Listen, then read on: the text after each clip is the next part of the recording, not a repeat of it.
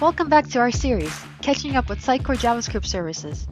This series addresses common questions about JSS that come up from clients, partners, and developers.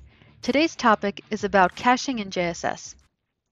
Enabling caching is the easiest way to improve performance in your JSS app. After watching this video, you will have a better understanding of how caching works in JSS. And you will learn how to utilize it in your performance strategy to get those blazing fast pages.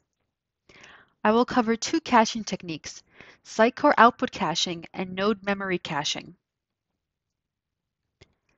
It's important to understand that Sitecore output caching in JSS does not work the same way as it does in MVC. In MVC, Output caching saves the HTML that is returned by the render rendering pipeline for any rendering which has caching enabled. So on subsequent requests, we already have the HTML for those renderings and no additional processing needs to be performed.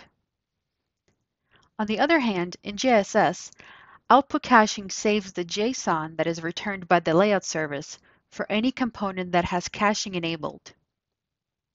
The node server takes that JSON as input and executes JavaScript to generate HTML.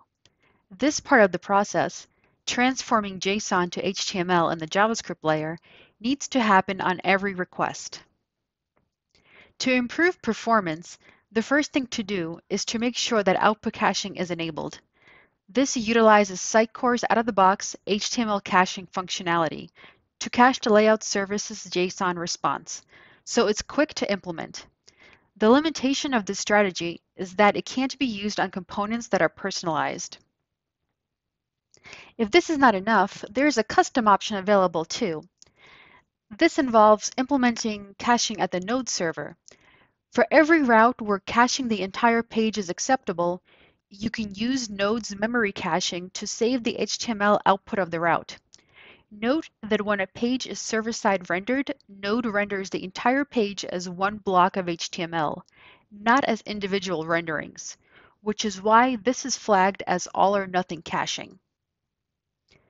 For additional information, see the caching page in the JSS docs. Thank you for watching. My name is Anastasiya Flynn and I hope you enjoyed this video. I'm on Twitter and Sitecore Community Slack if you would like to submit a topic for this series. Please follow the Sitecore JSS hashtag for all things JSS and the Learn Sitecore hashtag for educational content from my team.